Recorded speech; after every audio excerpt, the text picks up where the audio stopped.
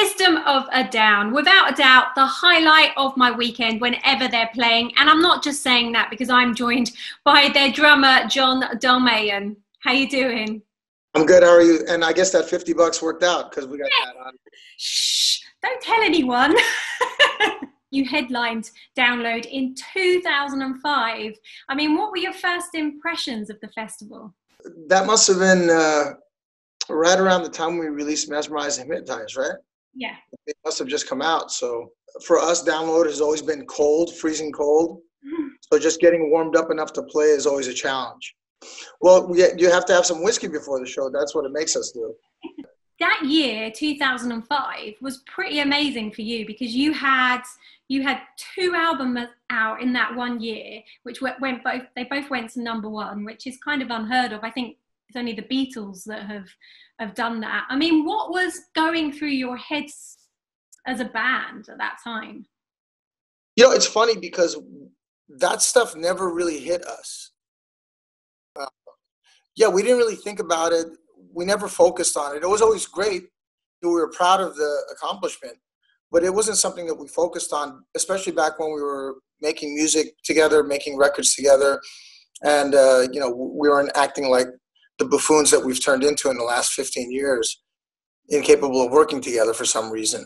It was very much an us versus the world mindset, you know. So stuff like that just didn't play into it. It was about what we're going to create next, maintaining uh, our musical integrity, and going forward with the best live show possible you know, which I still think System of a Down has, uh, if not the best, one of the best live shows in rock history. I'll put us up against anybody. I agree with you, to be quite honest with you. I even think that you don't necessarily have to be into your records to enjoy one of your shows. You know, you could take anyone along that's never heard of you before and they would just have like the best time ever, for sure. Well, that's also because of the audience. You know, the audience, first of all, irrespective of the country we play in and the language they speak, they seem to know every lyric to every song, which is something that I can't say. You know, I don't know. I don't know most of our lyrics, but they seem to know every lyric, and the energy that they put forth is infectious. So even if you're not necessarily a fan, by the way, I experienced the same thing when I was a kid, going to concerts. You know, the more into the band, the the people in the audience that were surrounding me were, even if I didn't know the music, I just felt like a part of it. You mm-hmm. know, a part of a greater thing.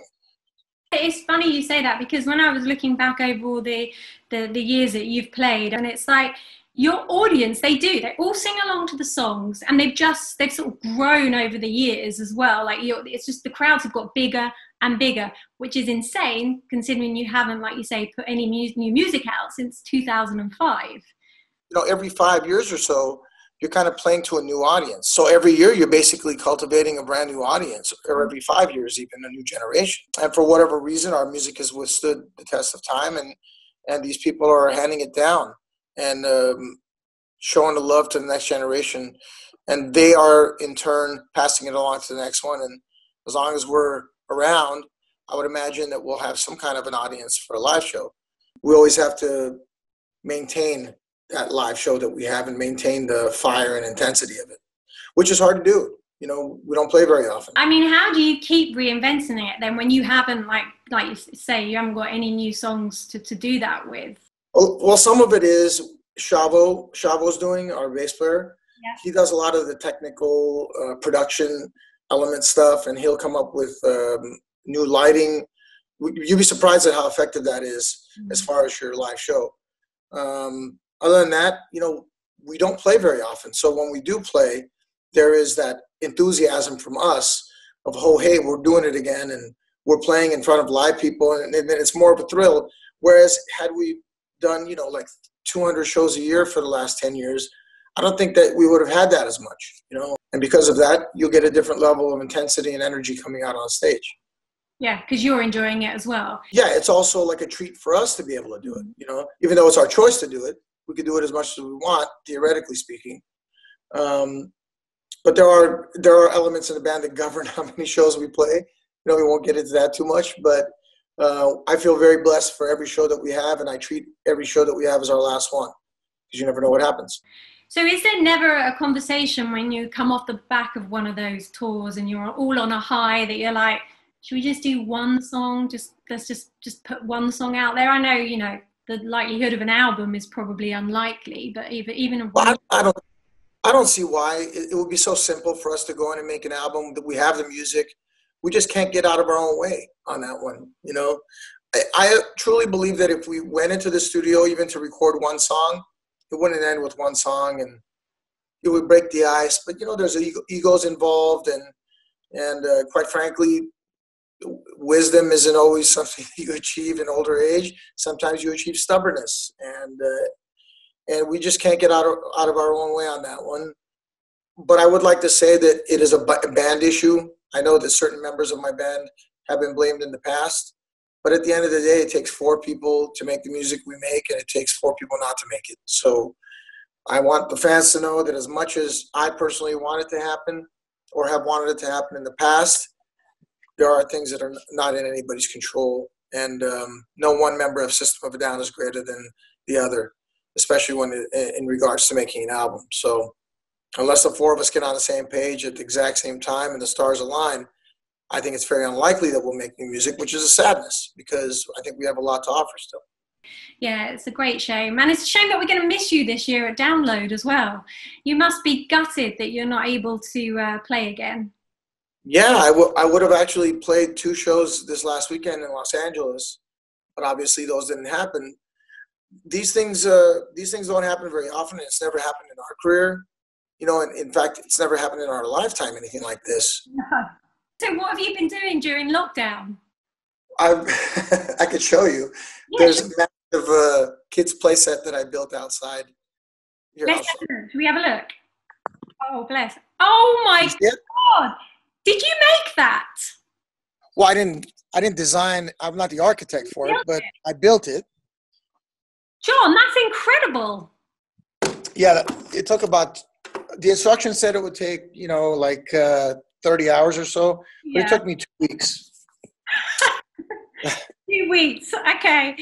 In all fairness, I was doing it by myself, you know. Um, so it takes a little bit longer when you're doing something like that by yourself.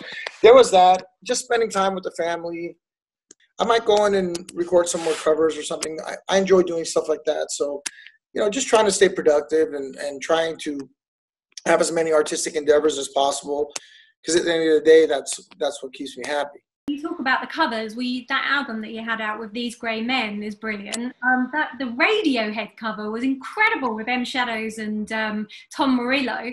Are you are, are you a big Radiohead fan? Is that where that came from? I am a tremendous Radiohead fan.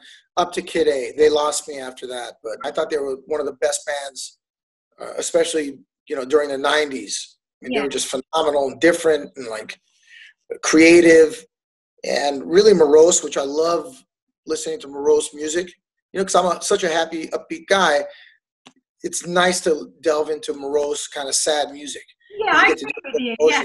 Always like that song, but I always also kind of, I don't know. I wish the drums came in a little bit differently. And you know, one of the pitfalls of being a musician is I listen to everything now as if uh, it was being presented to me to create drums on it, and then how would we change it a little bit as far as you know the way it was laid out. So it's a blessing and a curse in that I can do that. But hey, the positive is if if I really feel strongly about something, I can go kind of recreate it in my own image and have a good time with it.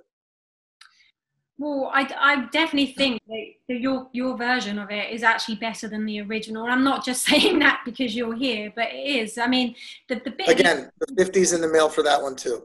All right. I'm earning a lot of money on this interview. It's great. Um, so yeah, no, I, it's the, I mean, the whole thing, but like just at the end when Tom comes in and it's just like, God, this, it just sort of really grow. The track actually grows. It ends on. Yeah. A lot of, there's also a lot of uh, string instrumentation yeah. that we put in. And um, right before the solo at the end, Tom Morello solo, there's a beautiful string part that my uh, good friend Danny Shamoun played he was also in the Scars on Broadway with me when I was still in Scars on Broadway. Okay. And um, he did a fantastic job on it. It's actually my favorite part of the whole album. I mean, that track is definitely my favorite track on the album for sure. No, it's I'm glad you enjoyed it. I would like you to do some more. You should definitely give it a pop for sure. Well, I'm thinking about doing uh, a couple of, believe it or not, a couple of rap songs. Really? Just to kind of, yeah, just to dress it up a little bit. And there's a there's a really good song by The Weeknd that I want to cover. You'll recognize it when you hear it if you like The Weeknd, and this is one of his better songs. And uh, and I also want to cover uh, Helter Skelter by the Beatles. Keep okay. mentioning the Beatles. So Might how, well do how would you do Helter Skelter then? A lot faster. Okay. And who, who would who would feature on it? Have you got anyone in mind? My good friend Frankie Perez is who I want to have sing on it. Yeah. Um, I might bring in I might bring in kind of like a, a, a weird guitar solo into it.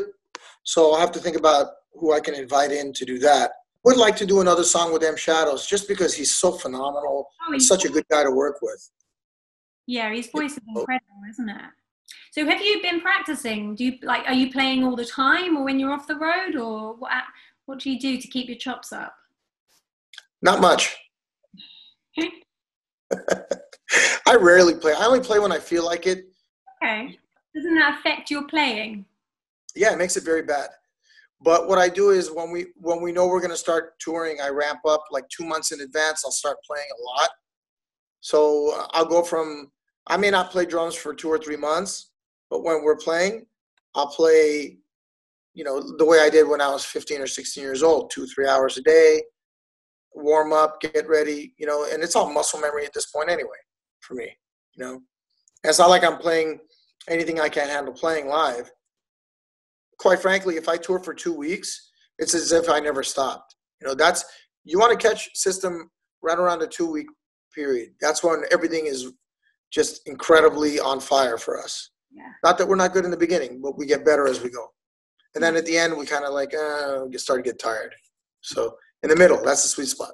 So, what is it about download that kind of makes you come back? Because, like you say, you don't tour that much, but it seems like when you are touring, the place that you always go to is download.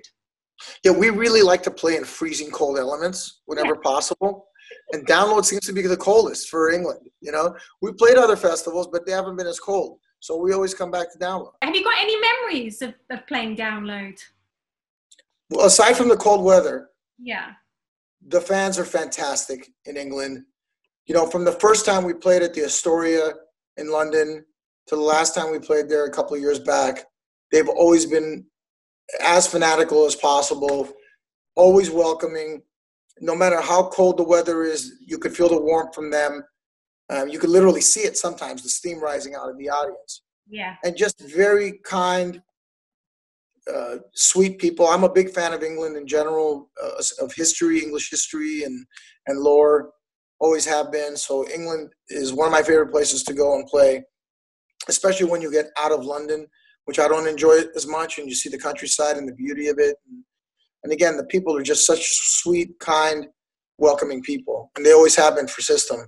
And for and for that, we have uh, a lot of gratitude.